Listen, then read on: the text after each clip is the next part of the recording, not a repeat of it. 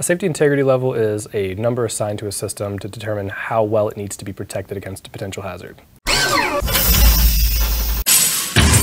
My name is Noah Green from Phoenix Contact. I'm the product marketing specialist for safety. What type of hazards? Hazards that are electrical, so high voltage, moving parts, if you have a motor that's spinning too fast or too slow, or you want to make sure that it's not spinning. Even sharp blades too, things that have to move up and down that could potentially damage someone's hand. How many levels are there? In SIL, there is four. SIL 1 being the lowest. There's just single channel, not much uh, in the way of redundancy. You just have a basic safety system.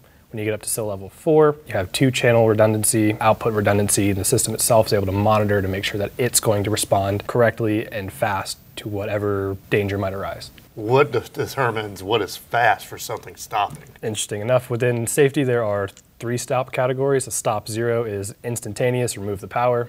Stop category one is a delayed stop. So say you have a motor that's running in your machine, you want to hit the e-stop, a little bit of a delay while the motor slows down, and then you kill the power. And then stop category two, just a normal stop, you press the stop button, everything kind of chills, and you're done. How does a SIL level differ from a PL performance level? A performance level has a rating from A through E, A being the most basic, E being the most complicated, able to get a lot of redundancy on the uh, inputs, outputs, and also in the logic too.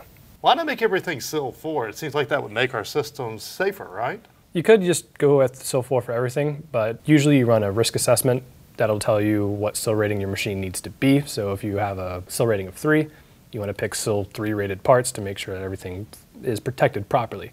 If it's only a SIL level 1, that's what you determine in your risk assessment. Stick with that. When you start going up the SIL levels, things get more expensive, more time to troubleshoot if anything were to go wrong. So who would we contact to uh, have a risk assessment done? Typically, the risk assessments are done in-house, or even if you wanted to hire an outside person or company, you'd have a TÜV certified functional safety engineer come and do the whole risk assessment for your machine. Once we know our SIL rating, then we're ready to select some parts. And click here to follow us over there.